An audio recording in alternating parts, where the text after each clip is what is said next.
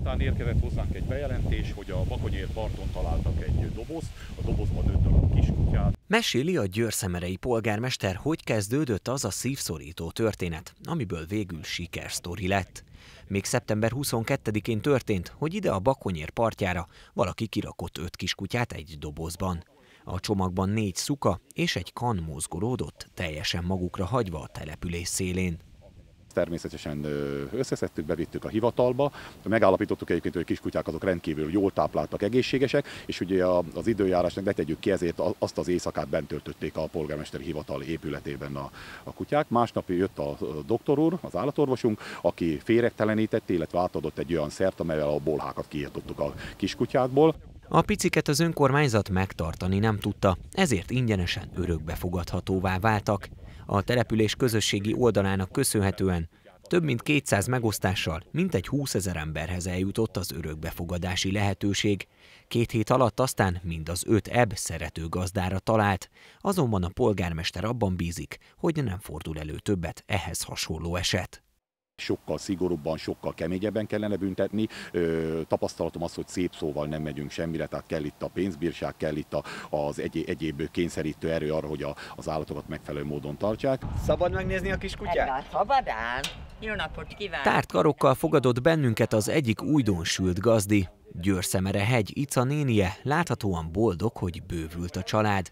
Egyelőre még félénken mozog az udvaron Marci a cicák társaságában, de ahogy gazdája nyilatkozik róla, azt gondoljuk, jó sora lesz a háznál.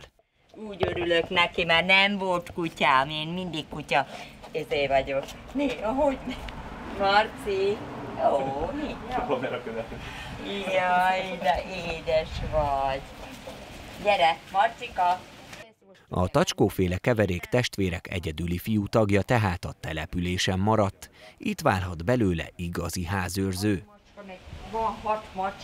Gyere, kergetni a macskát. Nekem minden vágyam volt, hogy kutya legyen, mert én nekem mindig életemben volt kutya. Csak sajnos az enyémé elég idős volt, és sajnos elpusztult.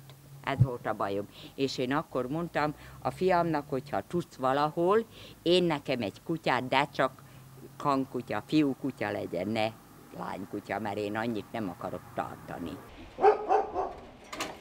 Egy nagyobb termetű kutya már védi ezt a győrszemerei házat, azonban az udvar őrzésében már más is besegít. A négy kislány egyik tagja ugyanis ehhez a családhoz került, így hát szintén marad a településen.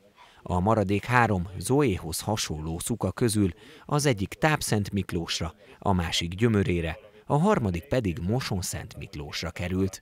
Mint ahogy az Marcin is észrevehető volt, úgy Zoé, a lány testvér is egészséges, jókedélyű, játékos, mint valamennyi testvére. Igazából szerintem harcias lesz, mert, mert már neki megy ennek. Nem csak új gazdikat kaptak a kutyák, hanem megtalálták azt a szemét is, aki kitette őket a partra.